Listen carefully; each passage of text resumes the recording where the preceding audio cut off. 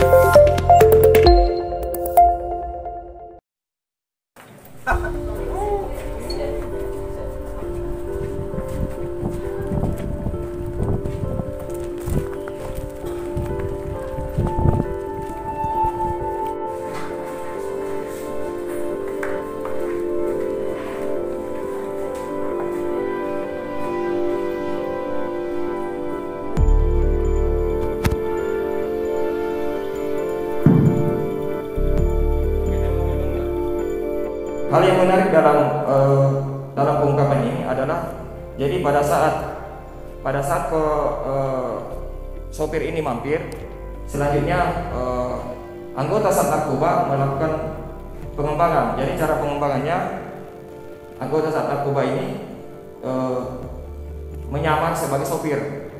Jadi sebelumnya belum diketahui bahwa eh, eh, siapa pemesan daripada barang tersebut. Yang selanjutnya anggota Sat Narkoba menyamar sebagai sopir. Jadi pada saat sopir itu digantikan oleh anggota. Yang selanjutnya sambil sopir tersebut sambil berkomunikasi, dikomunikasikan posisinya di mana dan standby-nya. Setelah itu sampai di bawah, alhamdulillah anggota Sat Narkoba berhasil e, menemukan dan menangkap pelaku atau yang sebagai orang pemesan barang tersebut. Dan saat ini e, kedua tersangka sudah diamankan di Mapolres Jeneponto.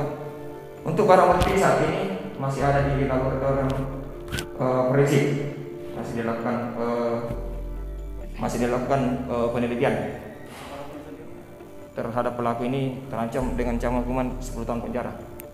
Untuk saat ini kita belum bisa mengatakan bahwa ini pengedar atau pengguna. Jelasnya kedua pelaku ini di, sudah dites urin dan uh, hasilnya ditunggu dari lapor demikian.